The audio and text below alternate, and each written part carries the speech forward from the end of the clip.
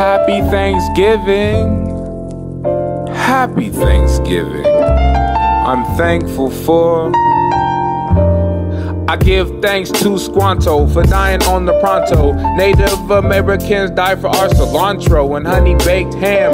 Wham bam, it's the colonizing Ku Klux Klan that cleared this American land for some beach sand and a fresh tan. The red man was seen as in disparity that deserve refugee territory, sharecropping charity. The human rights barely, and yet we merrily celebrate the hate of the Washington Redskin. The pilgrims passed on disease with a grin, whiskey and gin, sprinkled with some sin. The natives were valued like trash bins. Squanto and them Navajos with some Eskimos gave their souls and their pinky toes to the pilgrims who were cold like the North Pole and winter.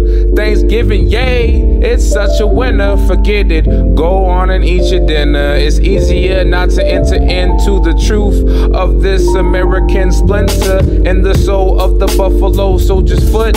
Thanksgiving is a holiday for crooks. It's history. Take a look. Take a look before you cook that next fried egg. Take a look before you shop at Black Friday. Before you buy that new Chevrolet station play or watch Pocahontas on Broadway. Put justice on layaway for far too long. As I write the song, I imagine Huey Long talking about the honey in the yeast in which the red and white, black and seek. 99% in elite, strong in the meek, can come together and eat at the next Thanksgiving Day feast.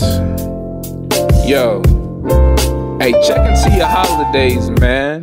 Most of them was racist or because of some weird religious cult, you know. Just check it. Like Christmas, aka Saturnalia. Check it out, man. Read up on it. Tell me what you think. It might change your perspective on things.